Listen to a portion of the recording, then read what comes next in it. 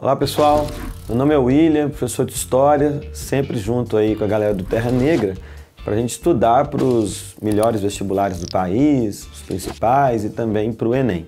Hoje eu vou tra trabalhar com um tema que é muito abordado nos vestibulares do Brasil inteiro e também na FUVEST, que é o tema da Era Vargas.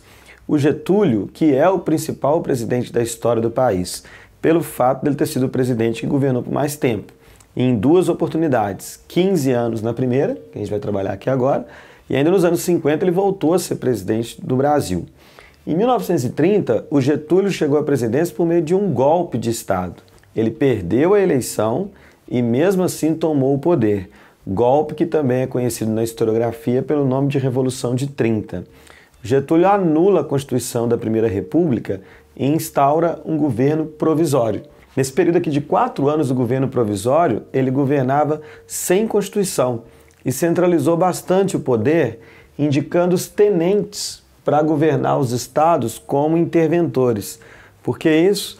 Porque os tenentes foram os líderes do apoio militar à chamada Revolução de 30, que levou o presidente Vargas ao poder. E ainda o Getúlio faz um código eleitoral em 32 trazendo mudanças que influenciam nossas vidas até hoje. Esse Código Eleitoral institui o voto obrigatório para maiores de 18 anos, institui o voto secreto, o voto feminino e ainda a justiça eleitoral, que são novidades para a República Brasileira naquela época e avanços, né? O Brasil se torna um dos primeiros países do mundo a permitir o voto feminino. Mesmo assim, o Getúlio protelava eleições para que houvesse a escolha de uma assembleia para elaborar uma Constituição liberal e democrática.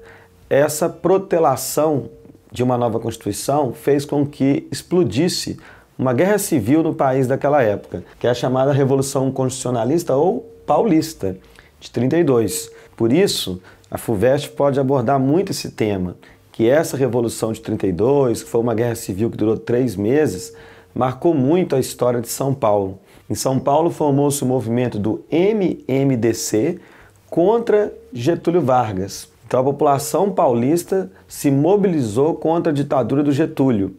Observe o nome da revolução constitucionalista. Então havia uma classe média que reivindicava uma constituição e ao mesmo tempo, por trás da revolução de 32, havia cafeicultores em São Paulo pensando em retornar ao poder. Foram três meses de guerra civil, uma guerra extremamente sangrenta, mas o Getúlio permaneceu na presidência. De qualquer maneira, lá em São Paulo, inclusive, 9 de julho é um feriado importante estadual em homenagem aos que combateram na Revolução de 32, porque há uma interpretação que trabalha com a ideia de que houve uma vitória parcial de São Paulo, que apesar de Getúlio permanecer no poder, o Vargas cedeu, convocou eleições para uma assembleia e uma nova constituição foi promulgada no ano de 1934. É a terceira Constituição da história brasileira e a segunda republicana, que incorporou as mudanças do Código Eleitoral. Então, a Constituição de 34 é a primeira a estabelecer voto secreto, voto feminino, voto obrigatório e justiça eleitoral. É considerada uma Constituição democrática, apesar de impedir o voto dos cidadãos analfabetos. E outra grande novidade da Constituição de 34 é a legislação trabalhista. Pela primeira vez no país haverá leis trabalhistas. A limitação para isso é que na época a maioria da população brasileira trabalhava na zona rural. E a lei, legislação trabalhista da época atendia apenas os trabalhadores urbanos. Com a Constituição, o governo do Getúlio entrou numa outra fase, que é a fase do governo constitucional, porque agora ele está governando com base numa Constituição. Foi um período marcado por enorme radicalização ideológica em função das influências que vinham da Europa. Na década de 30, na Europa, havia a ascensão dos regimes totalitários de extrema-direita, como o fascismo e o nazismo, que influenciou na criação da Ação Integralista Brasileira, liderada pelo Plínio Salgado, que era um movimento de tendências fascistas, inspirado principalmente em Mussolini, mas também no Hitler. E lá na Europa também havia a ascensão do totalitarismo de esquerda, de regimes de extrema esquerda. O grande exemplo, o stalinismo. E aí formou-se a ANL, que era a Aliança Nacional Libertadora, um partido de tendências é, socialistas. O Getúlio, sabendo que a maior parte da população brasileira era bastante conservadora, católica, ele adotou uma política de perseguição aos comunistas, o que resultou numa grande revolta dos comunistas, líderes da ANL, comandada pelo Luiz Carlos Prestes, que é chamada de Levante ou Intentona Comunista. A revolta foi esmagada pelo governo Vargas.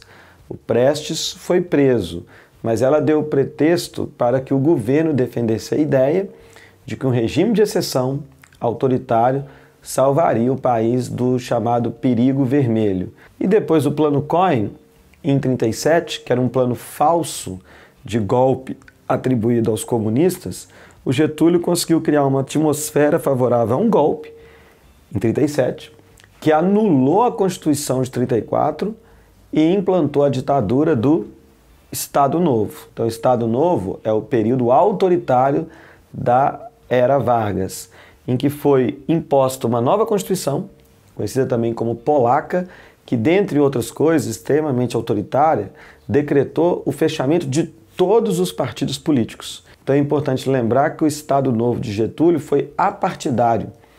Não foi permitida a existência de nenhum partido na maior parte da ditadura do Estado Novo, só no finalzinho, quando a ditadura estava acabando, é que voltou o pluripartidarismo.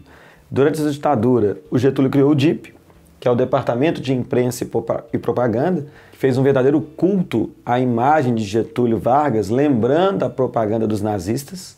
Apesar disso, um cuidado. A ditadura do Getúlio não é considerada fascista. Tem tendências fascistas, porém fascista ela não era. Inclusive fascistas foram perseguidos no governo do Getúlio e quando estourou a Segunda Guerra Mundial, o Vargas se posicionou contra o eixo nazi-fascista. Portanto, uma ditadura extremamente autoritária, porém fascista, não. Também foi nesse período que Getúlio desenvolveu muita indústria de base sob controle estatal, com a criação da Companhia Siderúrgica Nacional e da Companhia Vale do Rio Doce. Aprofundou a legislação trabalhista através da CLT, a consolidação das leis trabalhistas, ainda atendendo apenas os trabalhadores urbanos, o que deu grande popularidade a Getúlio, através do DIP, que fazia um grande culto à sua imagem, e através da CLT, ele consolidou uma popularidade muito grande junto às camadas mais pobres da sociedade. No entanto, o Estado Novo não resistiu ao fim da Segunda Guerra Mundial. Em 45 terminava a Segunda Guerra Mundial e as forças armadas que voltavam da Europa após terem contribuído para a queda do nazismo e do fascismo, não aceitaram a presença de uma ditadura em seu próprio país. E o Getúlio foi derrubado por um golpe de Estado liderado pelas Forças Armadas em 45. Aí lembrando que essa é a Era Vargas, o primeiro governo do Getúlio. E para fazer um, uma boa prova na FUVEST de História, vale a pena também revisar o segundo governo do Getúlio, lá nos anos 50. E é isso aí, bons estudos.